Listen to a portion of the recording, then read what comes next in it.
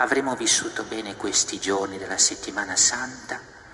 se l'incontro col mistero della Pasqua, di morte e risurrezione del Signore, che è lo spreco di amore di Dio per noi, susciterà ancora una volta e in modo rinnovato nel nostro cuore il desiderio di sprecare per Lui